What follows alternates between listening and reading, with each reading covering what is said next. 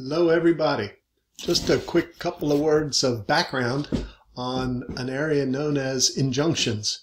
Um, the first week when I said that uh, most civil litigation is really about uh, attempting to recover money, um, it seems a little cynical, but true. But there is an aspect of uh, civil litigation where people are not necessarily seeking money, and it will be something that you'll run into sometimes. I noticed that uh, in some of your comments about what you wanted to do with your careers, there was uh, some interest in uh, public interest uh, law or interest with uh, uh, nonprofits um, to help people with certain problems. A lot of times in those types of cases, you'll be seeking help from a court and it won't necessarily be money, but it will often be called injunctions or in law, they'll call it relief, injunctive relief. And injunctions are kind of simple in some ways.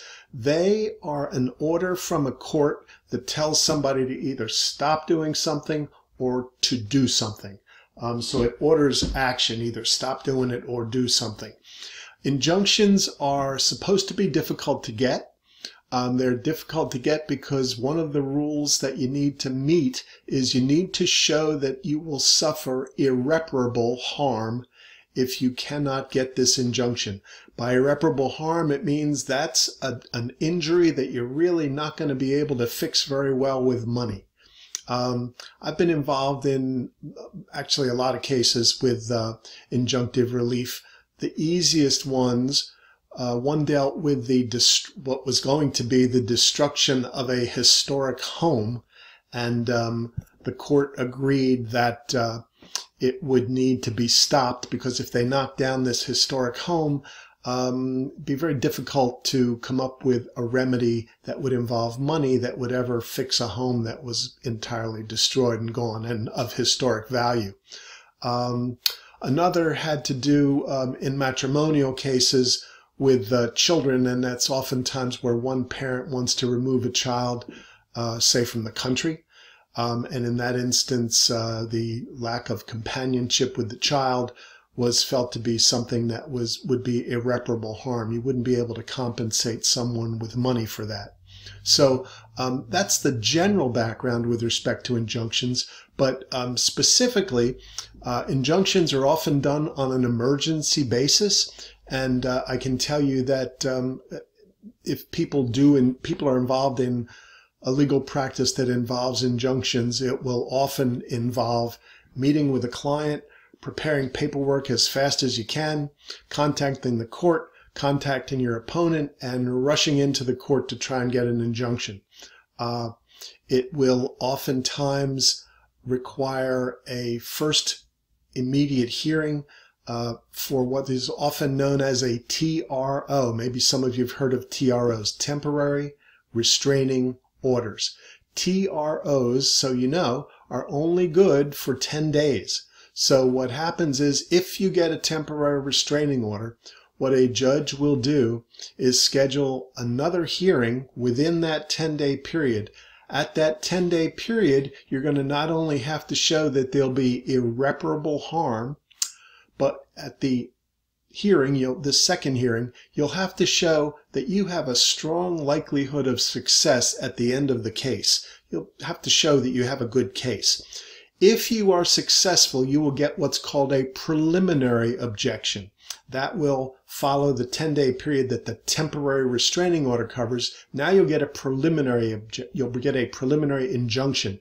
The preliminary injunction will last until the case is decided by the court.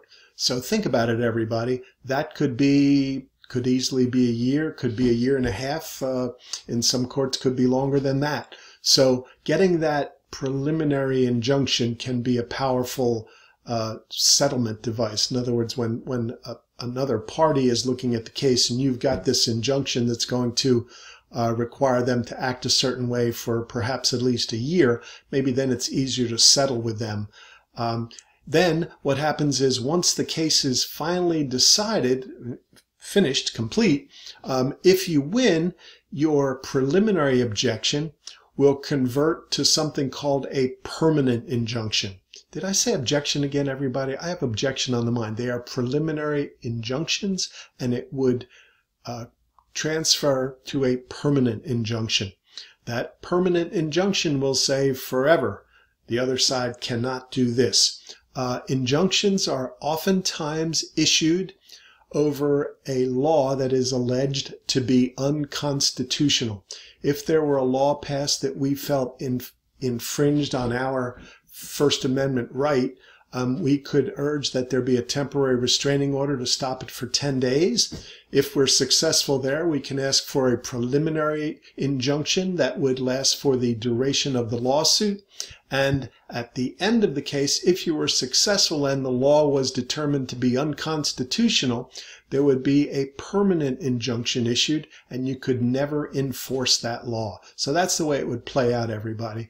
Injunctions are kind of a cool area of the law in that they're often dramatic.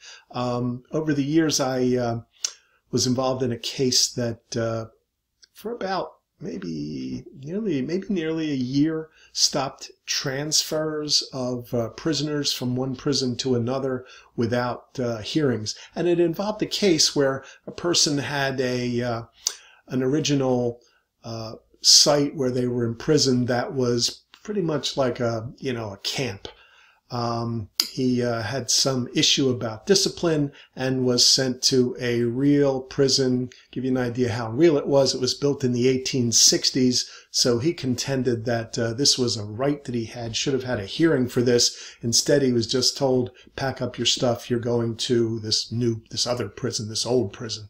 Um, so we had a, uh, case in federal court where we got an injunction and uh, stopped that for a long period of time.